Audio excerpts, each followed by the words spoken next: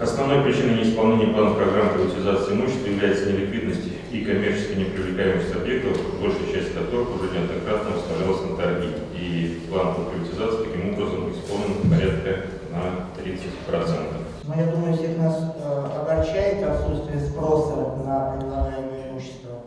План выполнен на 30%, в бюджет могли бы поступить дополнительные средства, мы планируем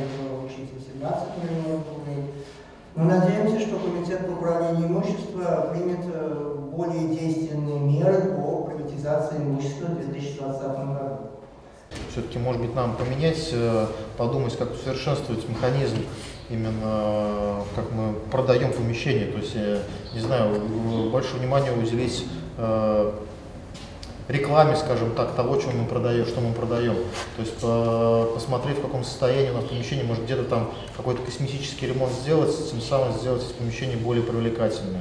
Плюс э, информации, возможно, больше дать, использовать там другие площадки для э, того, что показать, какой у нас, какие у нас есть Э, помещений, какие, сколько они стоят, в принципе, как бы цены-то адекватные, достаточно рыночные.